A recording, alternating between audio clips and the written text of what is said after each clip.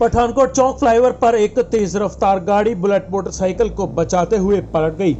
हादसे में गाड़ी में सवार पिता पुत्र बाल बाल बच गए। इस दौरान वहाँ लंबा जाम लग गया।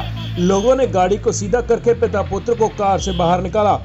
सूचना मिलते ही हाईवे पुलिस मौके पर पहुँची और जाम खुलवाया। वहीं थाना आठ की पुलिस भी मौके पर पहुँच गई। पुलिस को दिए गए बयान में अमरदीप ने बताया कि वो पठानकोट के प्रेमनगर डाकी रोड पर रहता है।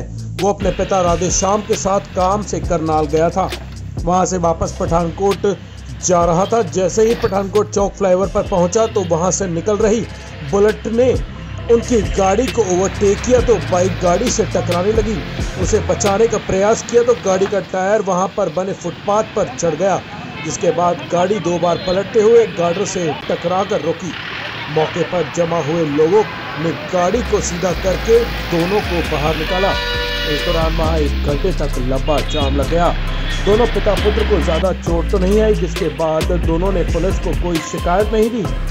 मगर गौर करने वाली बात यह है कि बुलेट सवार आजकल ट्रैफ़िक के लिए मुसीबत बन चुके हैं, जिस पर पुलिस लगाम कसे और ट्रैफ़िक को सुचारू रूप से चलाए। जालंधर से कैमरामैन दीपक सोहता के साथ सुखिंदर बग्गा की रिपोर्ट ਕੀ ਨਾਮ ਹੈ ਭਾਈ ਆਪਣਾ ਜੀ ਅਮਰਜੀਤ ਸਿੰਘ ਕਿੱਥੇ ਰਹਿੰਦੇ ਭਾਈ ਤੁਸੀਂ ਪਠਾਨਕੋਟ ਦਾ ਤੇ ਭਾਈ ਕਿੱਦਾਂ ਹੋਇਆ ਹਾਦਸਾ ਜੀ ਇਹ ਜੀ ਉਹ ਅਚਾਨਕ ਮਾੜਾ ਜਿਹਾ ਬਾਈਕ ਵਾਲੇ ਨੇ ਇੱਕਦਮ ਹਲਕਾ ਜਿਹਾ ਸਾਈਡ ਤੇ ਕਰਤੀ ਓਵਰਟੇਕਿੰਗ ਕਰਨ ਲੱਗਾ ਸੀਗਾ ਬਾਈਕ ਵਾਲਾ ਇੱਕਦਮ ਆ ਗਿਆ ਅੱਗੇ ਉਹਨੂੰ ਬਚਾਉਣ ਲੱਗਾ ਗੱਡੀ ਵਾਈਟ ਵਗੈਰਾ ਹੋ ਗਈ ਕਰਦੇ ਕਰਦੇ ਪਲਟ ਨਹੀਂ ਗੱਡੀ ਤੇ ਭਾਜੀ ਗੱਡੀ ਵਿੱਚ ਕੌਣ ਕੌਣ ਸੀਗੇ ਜੀ ਗੱਡੀ 'ਚ ਮੈਂ ਤੇ ਮੇਰੇ ਫਾਦਰ ਸੀ ਤੇ ਕੋਈ ਨੁਕਸਾਨ ਵਗੈਰਾ ਤਾਂ ਨਹੀਂ ਹੋਈ ਸੱਟਾਂ ਤਾਂ ਲੱਗੀਆਂ? ਨਹੀਂ ਬਸ ਮਾੜਾ ਮੋਟਾ ਗੱਡੀ ਦਾ ਇਹ ਨੁਕਸਾਨ ਹੋਇਆ। ਗੱਡੀ ਦਾ ਹੋਇਆ। ਬਾਕੀ ਆਪਣਾ ਮਾਰੀ ਤੇ ਕਿੱਥੋਂ ਆਏ ਸੀਗੇ ਤੇ ਕਿੱਥੇ ਜਾਣਾ ਸੀਗਾ ਜੀ? ਕਰਨਾਲ ਤੋਂ ਆਏ ਸੀਗੇ ਤੇ ਪਠਾਨਕੋਟ ਜਾਣਾ। ਹਾਂਜੀ ਭਾਈ ਕੀ ਨਾਮ ਹੈ ਜੀ ਆਪਣਾ? ਹਾਂਜੀ, ਸਤਿ ਸ਼੍ਰੀ ਅਕਾਲ ਜੀ। ਮੈਂ ਰਾਣਾ ਭੁੱਲਰ। ਅਹ ਲੰਮਾਪੁਰ ਚੌਂਕ ਜਲੰਧਰ ਦਾ ਰਹਿਣ ਵਾਲਾ ਹਾਂ। ਸਾਹਮਣੇ ਆਫਿਸ ਆਪਣਾ ਬ੍ਰਿਜ ਤੋਂ ਥੱਲੇ। ਤੇ ਥੱਲੋਂ ਹੀ ਆਪਾਂ ਦੇਖਿਆ ਸੀ ਕਾਫੀ ਉਹਦੀ ਭਗਦੜ ਮੱਚ ਗਈ ਸੀ ਤੇ ਗੱਡੀ ਪੱਟ ਗਈ। ਬਾਈਕ ਸਵਾਰ ਬੁਲਟ ਬਾਈਕ ਸਵਾਰ ਦੇ ਵਿੱਚ ਮੇਰੀ ਐਲਟੋ ਕਾਰ ਲੱਗੀ।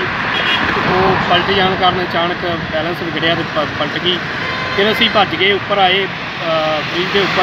ਅਸੀਂ ਉਹਨਾਂ ਕਾਰ ਸਵਾਰਾਂ ਨੂੰ ਬਾਹਰ ਕੱਢਿਆ ਤੇ ਮੌਕੇ ਤੇ ਐਂਬੂਲੈਂਸ ਬੁਲਾ ਕੇ ਬੁਲਟ ਅ, ਸਵਾਰ ਦੇ ਸੱਟ ਲੱਗੀ ਸੀ ਉਹਨੂੰ ਹਸਪਤਾਲ ਰੈਫਰ ਕਰਾਇਆ ਤੇ ਕਾਰ ਦੀ ਪਲਟੀ ਲਵਾ ਕੇ ਸਿੱਧੀ ਕੀਤੀ ਹੈ।